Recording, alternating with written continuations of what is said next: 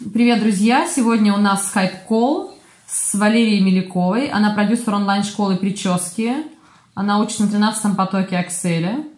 Ее финансовый результат 350 тысяч. В прошлом году у нас экспертом Екатериной, правильно, заработала 4 миллиона 200 тысяч благодаря обучению в акселераторе. И заработали эти деньги они именно в офлайне, потому что применили знания, которые получили в акселераторе э, в офлайн бизнесе и сейчас потихонечку переходят в онлайн.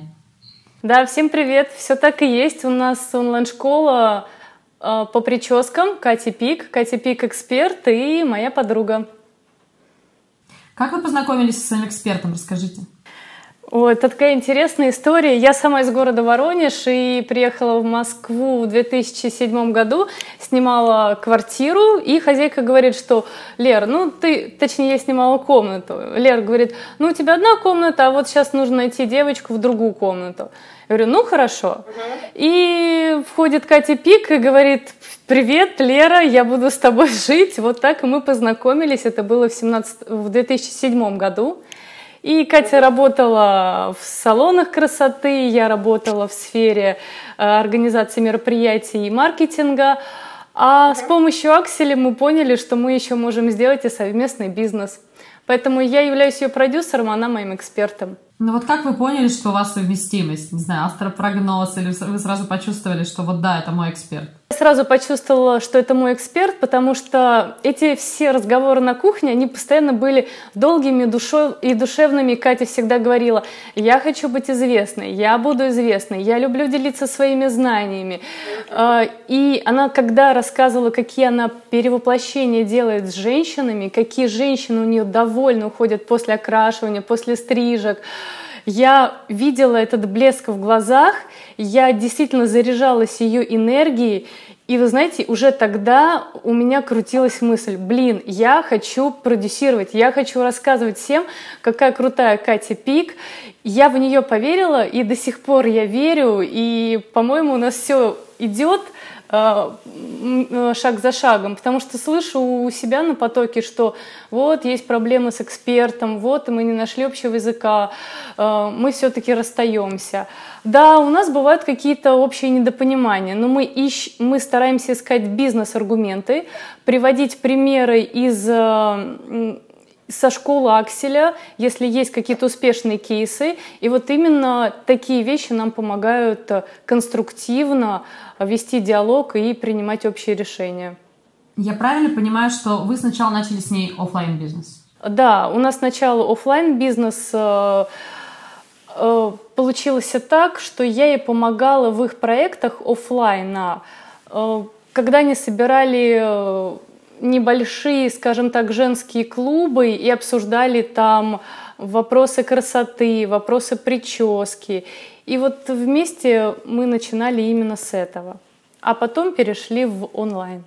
То есть сколько времени прошло между офлайном и онлайном? Так, онлайн мы начали в августе прошлого года. Онлайн у нас 10 месяцев, а до этого был, э, был офлайн, ну, наверное, таких активных два года.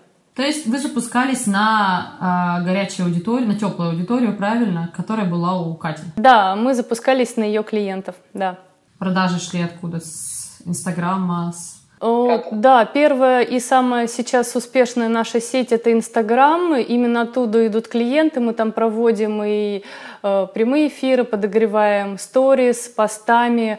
Э, есть у нас еще тоже группы ВКонтакте и Фейсбуке, но они пока не такие, скажем так, успешные по сравнению с Инстаграмом. Ну, расскажите, Валерия, вот у вас, у вас был заработок в офлайне. Я правильно понимаю, что это был как бы не провальный бизнес, это бизнес, который шел. Но вы поняли, что вам не хватает чего-то, что вам нужно масштабироваться или что у вас больше перспективы в онлайне. Как вы поняли, что нужно перестраиваться и нужно ловить волну и выходить в онлайн? Какой момент? Я это поняла в феврале 2018 года, в прошлом году. У меня была хорошая работа с приличным заработком, Э, с постоянными командировками за рубеж. Мы организовывали конференции, делали мобильное приложение. И я поняла, что я выкладываюсь 24 на 7, у меня совершенно не хватает времени на семью. А, скажем так, э, время идет. И я поняла, что я хочу более современную профессию с большим количеством свободного времени. И uh-huh. у меня есть мой психолог, она говорит, Лер, ты знаешь, есть такой инстамарафон, посмотри, сходи. Я зашла, там увидела спикеров Сергея Капустина и Дмитрия Юрченко. Узнала, uh-huh. что есть такое онлайн-образование. Что и тут у меня сразу в голове, конечно же, появляется моя подруга Катя Пик, и я понимаю, что супер, у меня еще есть эксперт. И все так получается, что у меня цель была создание семьи, скажем так, больше времени уделять своей семье, создать семью и, и скажем так, э, обучиться новой современной профессии. И что я получаю сейчас? Я получила предложение от своего молодого человека, я выхожу замуж, у меня куча свободного времени, я работаю из любой точки мира, и с нашим экспертом, слава богу, хорошие отношения, и наш бизнес развивается, количество подписчиков растет, и продажи есть. Так что из офлайна тоже получаем денежку и понемножечку вкладываем ее в онлайн. Вот такая история. Какой сейчас финансовый результат в онлайне? 300, мы заработали 350 тысяч с Катей. А, если говорить про время, ну, наверное, вот это 4 активных месяца. Второй месяц у нас было где-то 50 потому что мы создали сначала такой модуль, скажем так, с маленьким ценником. Нас э, учили в школе, что сначала мы что-то даем бесплатно, мы давали наши э, уходы бесплатно, проводили вебинары бесплатные и создали курс по э, локонам, как создать локоны. Вот именно с этого мы начинали, а потом мы увеличивали наш продукт, увеличили стоимость э, модуля, и потом уже, наверное, второй месяц уже был ну, 1070, а сейчас 100 э, тысяч. Вы консультируете онлайн-проекты, я правильно поняла? Да. То есть вы получили знания в акселераторе и почувствовали, что вы можете консультировать других, да, по развитию онлайн-проекта? Да, у меня друзья, когда узнавали, что я учусь в акселераторе, они говорят, о, прикольно, слушай, а вот расскажи, пожалуйста, как ты, э, как начать? То есть у ребят были какие-то знания урывками, э, но они не знали, с чего начать. Плюс еще, это, скажем так, первая группа, а вторая группа, которая э, были предприниматели успешны в офлайне, но когда они начинали действовать также в, офлайн, в онлайне, у них не получалось. И они спрашивали совета, Лер, а почему? А что, в онлайне все-таки и действуют другие законы? Почему вот в офлайне у меня э, на моих курсах э, прибыль, есть прибыль, а вот в онлайне пока не получается. И вот э, вместе с ними я садилась и делилась знаниями, которые я приобрела в Акселе. Все-таки как надо, из чего начать и какую структуру выстроить. Вы пришли в акселератор. Что что было сложно, что было легко? Какие впечатления были от начала обучения и как дальше оно развивалось? Вы знаете, сложно было изменить свое мышление. Вот Дима, когда говорил, что с чего начать, мы избавляемся от э, токсичных людей. И я поняла, что я мыслю совершенно не так, да, как, как должен мыслить предприниматель. Всю свою жизнь я работала в найме. И я постоянно винила там своих каких-то неуспехов это начальника, там еще кого-то. То есть я снимала ответственность себя и постоянно говорила, что, блин, ну, я с своей стороны сделала все возможное. А тут я поняла, что если я веду свой проект, то вся ответственность лежит полностью на мне. Я ответственна за все свои косяки, за все свои победы, за свои все успехи. И вот, вот это переключение в мышлении от недовольства работодателем и взять ответственность на себя, вот этот момент мне дался сложно, и он потребовал больше всего времени. Знаете, у меня даже изменился круг общения. Я очень боялась, честно говоря, онлайна с одной стороны, что ну как это так, это что онлайн, вот я буду сидеть за компом и больше не буду ездить на бизнес-встречи, Угу. Знаете, оказалось, что здесь гораздо больше бизнес-встреч, э, больше единомышленников. У нас есть группа в WhatsApp, у нас с Акселем мы вместе бегаем, мы каждый месяц встречаемся, мы обсуждаем наши результаты, мы делимся секретами, кто как к какому успеху пришел и какими способами. И, и встреч даже стало больше. Поэтому с точки зрения сообщества и круга единомышленников это, конечно, очень сильный плюс. Я, скажем так, с помощью одного или двух человек могу получить нужный мне контакт или нужную мне информацию, которой мне не хватает вот в моем пазле. Те, кто еще, допустим, не учится в акселераторе, да, они не совсем понимают изнутри, как строится вся эта кухня. Расскажите про кураторскую поддержку, про то, как помогают резидентам. Э, у меня есть личный куратор, который каждую неделю мне звонит, э, и мы с ним обсуждаем э, текущие результаты.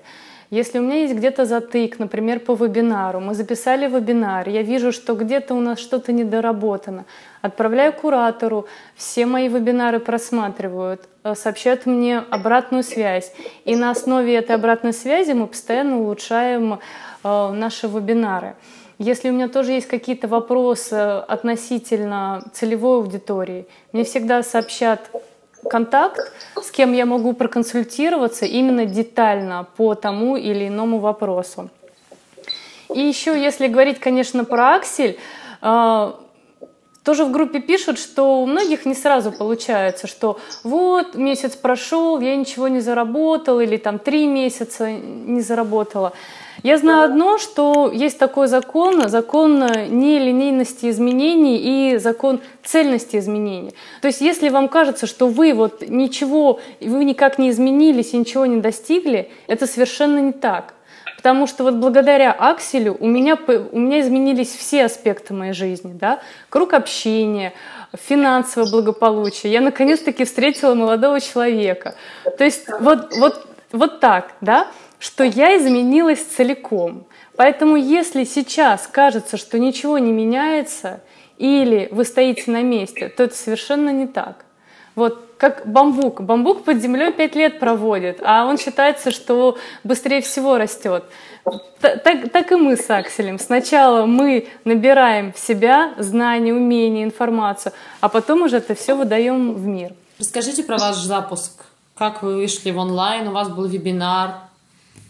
Как вы это делали? Да, мы выходили в Аксель э, с вебинаром, но сначала, конечно же, сделали лендинг.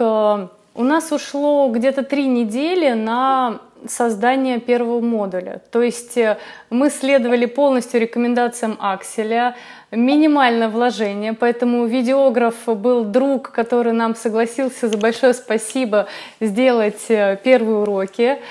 Гет-курс я сама по полочкам разбирала, как там все это настраивать. Вот. И ленд я тоже делала сама. И я благодарна Акселю за то, что ребята говорят, открывать свою школу с минимальными вложениями. Потому что ты тогда видишь сама, как это сделать, как лучше сделать. Ты начинаешь э, гуглить, э, и у тебя появляются новые знания. Поэтому, когда меня сейчас привлекают другие проекты, и я смотрю, как делают, например, видеографы, я понимаю, что лучше сделать по-другому. Вот, то есть, потому что я сама стала видеть благодаря вот этому моменту, что мы ничего не покупали, а делали все сами, с минимальными вложениями. А сейчас команда расширилась? Да, команда расширилась, э, эксперт, у меня есть еще э, бизнес-партнер, и у нас э, три девочки, которые проверяют домашние задания то, что вы научились все делать сами, наверное, облегчило поиск команды. То есть вы знали точно так или не так надо делать, да? Да, совершенно верно. Плюс я понимаю даже по время затратам.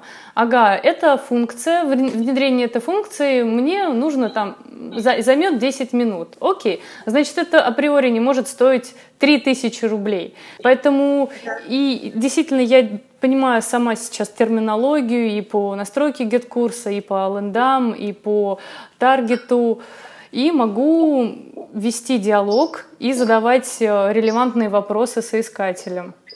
А как вы это сделаете? А почему так дорого? А по времени? Почему так долго? Ну, то есть это действительно очень полезный навык в своем деле. Сколько всего человек отучилось за это время у вас? А, вот на данный момент у нас отучилось а, с текущими учениками 35 человек. 35 человек. И сейчас вы повысили стоимость пакета, она стала выше, да, чем на старте, правильно? Да, она стала выше, чем на старте. И э, мы делаем такое модульное обучение, то есть можно купить один модуль, можно купить несколько модулей в одном пакете. То есть некий такой пазл, который может клиент сам для себя сложить и подобрать под себя. Сколько стоит пакет самый минимальный и самый максимальный? Ну вот э, мы до сих пор продаем локоны за 1250 рублей. Вы сказали, что вы запустились с минимальными вложениями. Сколько примерно денег было потрачено на запуск? Мы сразу купили э, годовой абонемент э, на платформу GetCourse. От Акселя там очень хорошая скидка. Мы заплатили 18 тысяч. И Тильда 3000 рублей. Вот с этим мы стартовали. Тильду купили сразу для создания лендов и сайта, э, сами делали все странички. И GetCourse — площадка для уроков. То есть 21 тысяча? Да. Это совсем немного. То есть слова Димы о том, что э, больше 50 тысяч тратить не надо, вы с ним согласны, да? А, вот сейчас, оглядываясь на, э, на свой проект и получив вот этот опыт, я полностью могу сказать, что да, совершенно согласна. В свой проект э, в начальных стадиях нужно вкладывать минимально, а максимально стараться самому разобраться во всех структурах и э, во всех площадках. Вы ощущаете в в ходе ведения своей онлайн-школы по прическе, что есть какой-то потолок или потолка в онлайн-бизнесе вообще нет. Что я имею в виду?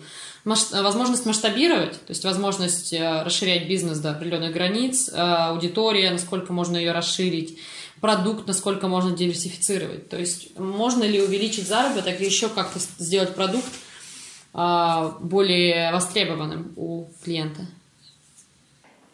Я считаю, что мы находимся только в самом-самом начале пути, поэтому э, для меня сейчас нет границ в плане того, что я вижу, куда мы идем, куда я хочу прийти. И я считаю, что э, это такой бизнес действительно безграничный, с возможностью масштабироваться. Поэтому, да, возможностей много. Главное понимать, чего ты хочешь. Потому что сейчас действительно жизнь дает нам огромные возможности, и это я поняла благодаря акселератору. Скажите, ну, выделите три основных э, полезности, которые вам дал акселератор? Первое — это структура онлайн-бизнеса, то есть вот та, сам, та самая база, база знаний. Да, второе — это люди, которые всегда поддержат, которые всегда дадут волшебный пендель или простимулируют тебя. И э, третье это, это, наверное, стиль жизни. Что сейчас я свободна, сейчас у меня больше маневров в моей собственной жизни. Вот, вот эти три основные аспекта. Какие еще каналы развития вы считаете, что можно использовать сейчас для онлайн-школы? Вот вы Инстаграм использовали, правильно? Еще, еще какие-то есть, наверное, перспективы? Честно говоря, хочу уделить дальше больше внимания ВКонтакте. Мои друзья все сидят в Инстаграме, а я знаю, что регионы больше любят э, ВКонтакте, а мы туда пока еще не входили. Дайте какой-нибудь совет тем, кто сейчас э, хочет открыть свою онлайн-школу, но еще сомневается, думает, что риски слишком высокие, боится отказаться от прежнего образа жизни, что-нибудь такое? Надо, ребят, надо сделать первый шаг, надо просто сделать. И все. И больше не бойтесь. Если у вас есть э, понимание, чего вы хотите достигнуть, и это действительно ваша цель, то вы ее обязательно достигнете. Главное просто каждый день предпринимать конкретные шаги. Вот, пожалуй, самый главный совет. Кому стоит идти в акселератор? С какими установками, каким людям? Я считаю, что в первую очередь э, сужу по себе девушкам и женщинам, которые хотят больше времени проводить со своими близкими, родными, семьей, которые хотят иметь свободный график, не зависеть от, э, от найма. Вот. И есть у меня тоже друзья-мужчины, которые тоже ушли с найма и прекрасно работают над своими онлайн-проектами. Онлайн-бизнес имеет перспективы в России, то есть это рынок, который будет увеличиваться только? Я чувствую, что да, еще, еще года два, а может быть полтора, рынок будет расти, а потом, может быть, пойдет на спад, потому что уже сейчас с каждым днем все больше и больше открывается онлайн-школ, некоторые уже устали от этих бесплатных вебинаров, все хотят научить. Вот, поэтому есть еще время запрыгнуть в этот поезд, но чем дальше, тем этого времени становится меньше. Выделите какие-нибудь три качества, которые помогли вам в открытии онлайн-бизнеса? Это целеустремленность, uh-huh моя настойчивость, которая граничит э, с упрямством и такой даже некой упертостью и коммуникативность. То есть э, все-таки это бизнес про людей и для людей. То есть уметь э, договариваться с партнером, уметь узнать информацию у своих коллег, узнать у целевой аудитории, какие есть боли и какие есть потребности. То есть вот, вот это такая черта, наверное, коммуникация и, ну, может быть, любовь к людям. Что я считаю, что все можно получить э, э, через других людей, у друг друга, скажем так. Угу. То есть нетворкинг очень много решает. Да. А, спасибо, Валерия. Очень было приятно с вами пообщаться. Желаю вам новых модулей, новых курсов. Не уверена абсолютно, что у вас все получится. Желаю свободного времени и чтобы в семье тоже все было гладко. Угу. Спасибо, Александр, большое. Удачи, хорошего дня. Угу. До свидания.